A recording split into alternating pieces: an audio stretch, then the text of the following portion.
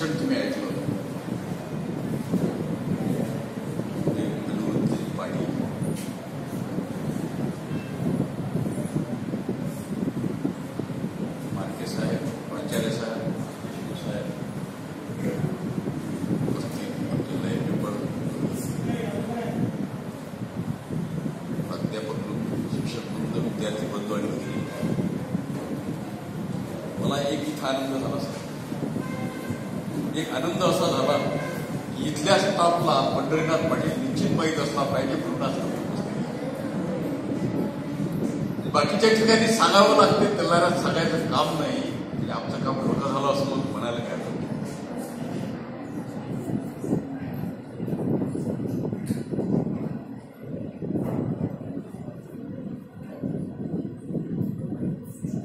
श्रीकृष्णाने नरकासुराचा वध केला. नरकासुराचा वध केल्यानंतर त्याच्या कैदेत असणाऱ्या राजकन्या त्यांना त्यांनी सोडवलं. त्या मुलींना सोडवल्यानंतर आता ह्या मुलींचं काय करायचं? जर ह्या मुली परत घरी गेल्या तर घरचे लोक स्वीकारणार नाही समाज स्वीकारणार नाही. एकतर यांना आत्महत्या करावी लागेल किंवा वेश्य व्यवसाय करावा लागेल एवढाच मार्ग त्यांच्यासमोर आहे. म्हणून यांनाही समाजात स्थान योग्य स्थान मिळावं. म्हणून श्रीकृष्णाने त्या सर्व स्त्रियांशी लग्न केलं आणि राजाच्या पत्नी राजाच्या पत्नी हा सन्मान मिळवून दिला आणि जगण्याची पुन्हा संधी प्राप्त करून दिली. तेच कार्य शिवाजी महाराजांनी पण धर्मात गेलेल्या नेताजी पालकरांना स्वधर्मात घेतलं. आणि स्वधर्मात घेतल्यानंतर याला समाज स्वीकारणार नाही. घरातले सुद्धा स्वीकारणार नाही म्हणून नेताजी पालकरच्या मुलाला स्वतःची मुलगी दिली आणि राजाचा वेळ म्हणून त्याला सन्मान मिळवून दिला. जगण्याचा सन्मान मिळवून दिला जगण्याचा मान मिळवून दिला. तेच कार्य पंढरीनाथ पाटलांनी केलं.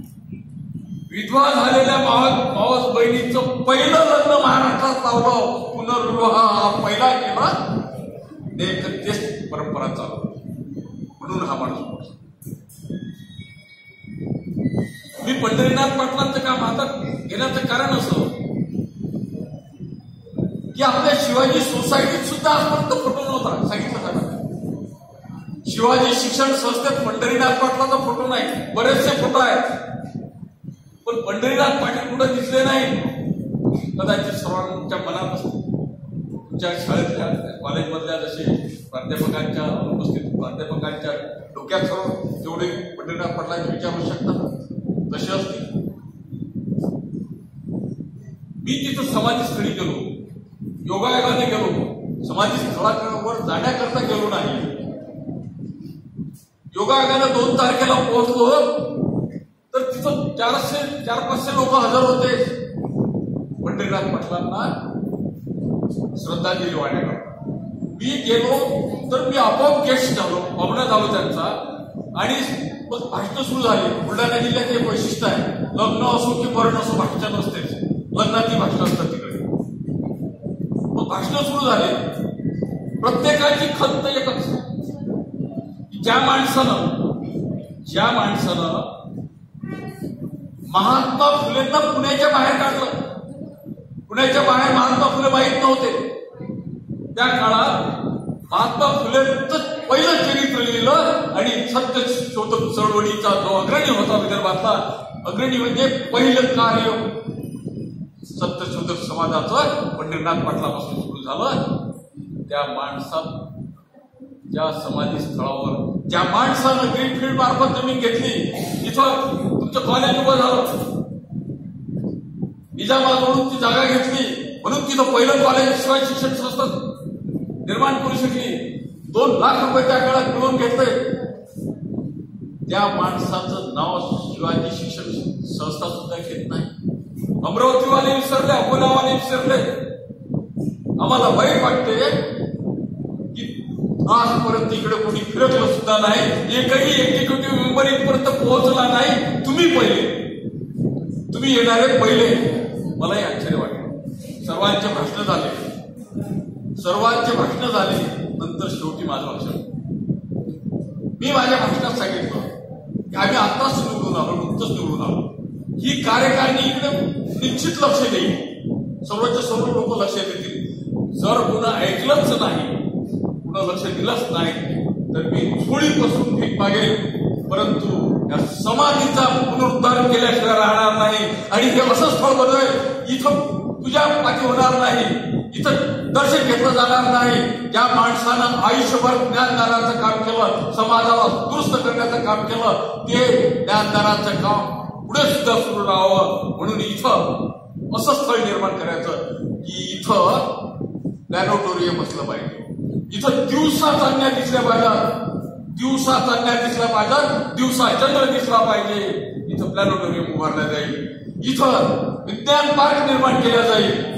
इथं जे भारतात फक्त दोनच ठिकाणी आहे जयपूरला आणि दिल्लीला.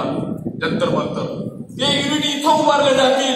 जे भारतात कुठंच नाही महाराष्ट्रात कुठंच नाही ते तिथं उभारलं जाईल. जेणेकरून तेलंगणाचं असो कोणतं असो किंवा नागपूरचं असो प्रत्येक शाळेला आणि कॉलेजला असं वाटलं पाहिजे की ट्रीप काढायची आहे. तर पंढरीनाथ पाटलाच्या समाधीवर काढली पाहिजे. बुलढाणा जिल्ह्यात येणाऱ्या कोणत्याही पर्यटकाला असं वाटलं पाहिजे की बुलढाणा जिल्हा पूर्ण झाला फिरणं झाला तर त्याला समाधान झालं नाही पाहिजे त्याला असं वाटलं पाहिजे की पंढरीनाथ पाटलाच्या समाधीवर माथा टेकल्याशिवाय माझा बुलढाणा दौरा यशस्वी होऊ शकत नाही. अशा पद्धतीचा आपल्याला ते पण समाधी स्थळ निर्माण करायचं आहे आणि त्याकरता माझे प्रयत्न आहेत. मी इथं वर्गणी मागायला आलो नाही.